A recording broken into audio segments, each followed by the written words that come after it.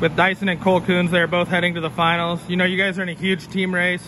What's it mean for both of you to get wins and you know help your team out as you head for a team title? Uh, I mean, it's great that we both have Aquinas wrestlers. That's big team rivalry. I'm pretty sure they're pretty close in points right now, so that's big. It'll be big wins for both of us. Yeah, for sure. Exactly what you said. Yeah, head-to-head matchups in those finals, and those are really big for the team race. So I'm really excited to see um, what all our teammates do to finish out the tournament. I'm really proud of every one of them. You know, went out and battled last night and had some huge matches, so it was fun. You know, getting to be in each other's corners, what's that mean for you? You know, Dyson's a senior, so this is your last year of getting to have him there, and you know, you get your little brother there, but he's still got one more year after you. So, what's this mean to the two of you?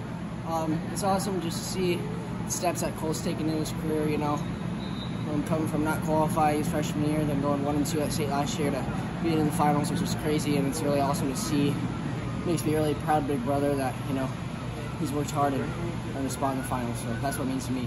Yeah.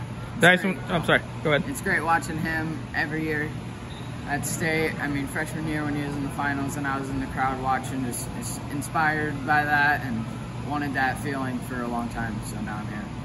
You know, yesterday you tied the pin record. Is, is that going through your head at all when you're out there on the mat, or? Um, not really. Know, I'm always going for pins.